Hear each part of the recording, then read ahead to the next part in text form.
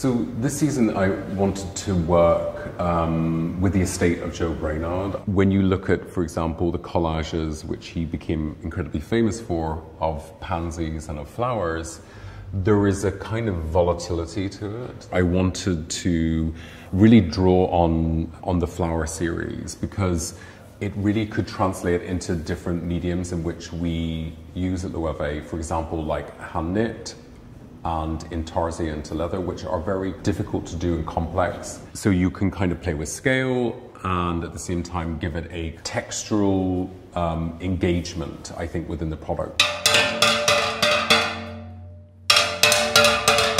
In the collection, we have um, as well, we have these sort of triangular tent shaped trousers. When you pull them out, you get two rectangles nearly, in which we have presented both artworks on the side. So it's nearly that you could hold it out. I like this idea that the trouser nearly became a performative piece. I kind of wanted this idea that we would create collages through the material, different types and moments ultimately of Brainard's works. And we kind of turned them into a new form of collage.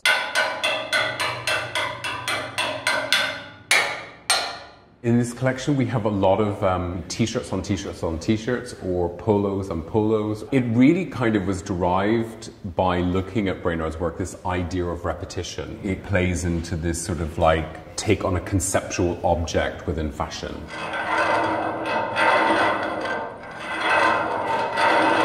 I like this idea that you, we would kind of make this incredibly complex pair of kind of like trousers, which were all belted, incredibly worked out of shearling or turning it back or in leather, that it nearly became some sort of like odd sculptural piece of clothing. This idea of something that we know that we associate to a, uh, a punk movement, but at the same time, we all have like different meanings for that moment.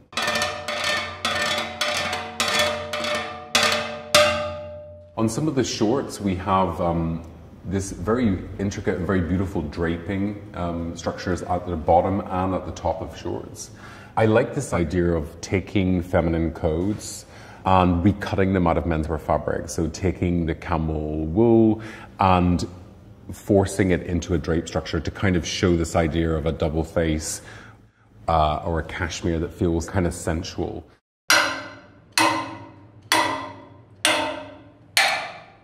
On some of the t-shirts, we have um, a series of like, kind of like, they're actually incredibly tiny motifs that we took from Brainard's work. They're kind of like a charm bracelet, ultimately, where you're kind of extracting charms and blowing them up.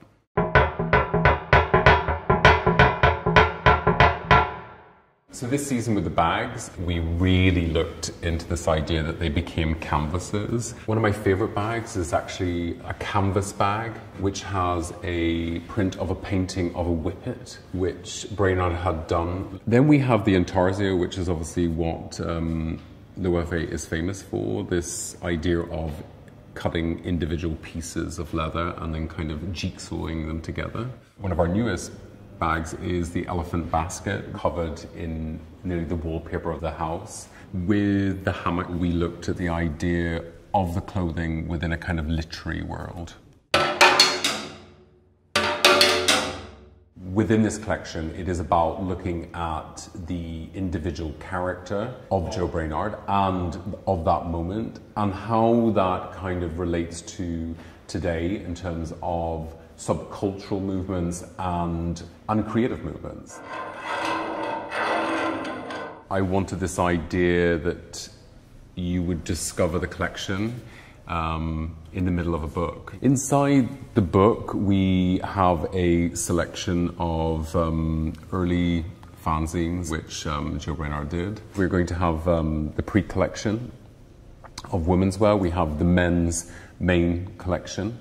And we will have um, our ongoing project, Eye Nature, which is going to be uh, constructed onto a t-shirt. So the looks will be turned into a print that evolves over the back and front of the t-shirt. And it will kind of be um, put together with an old-fashioned strap that you use for holding books. So it's, it's quite a, an elaborate piece of um, ephemera.